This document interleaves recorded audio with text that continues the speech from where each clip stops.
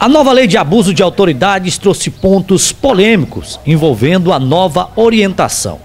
Desde o dia 3 de janeiro, fica proibido a divulgação de vídeos e fotos de presos, investigados, indiciados e até mesmo conduzidos em veículos de comunicação ou pela polícia ou autoridade pública. A lei de abuso de autoridade veio para evitar algumas situações constrangedoras, não só para é, o preso em si, mas para toda a sociedade.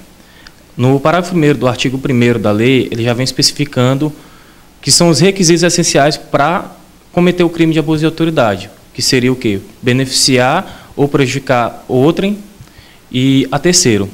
No caso das imagens do, das pessoas que são detidas, que são presas, é, não vai mais poder fazer essa divulgação. O advogado explica ainda que a nova lei também traz o item relevante no quesito onde fala sobre as prerrogativas dos advogados. Agora, os membros do Ministério Público, os membros do Poder Executivo, do Poder Legislativo, do Judiciário, TCE, TCU, ou seja, todos os servidores públicos, municipais, estaduais e federais, estão sujeitos à lei.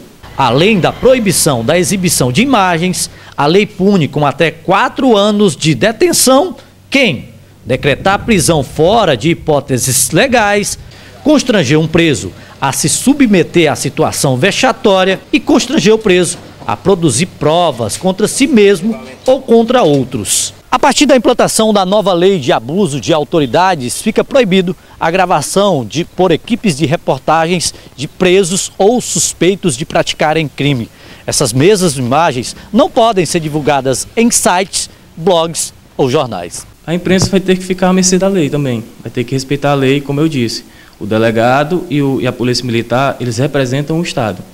Então, se eles não autorizarem a filmagem, a imprensa também não vai poder filmar. Além de que, se a imprensa fazer uma filmação de uma pessoa que está detido ali sem autorização dele, poderá responder também pelo, por divulgação da imagem devida da pessoa.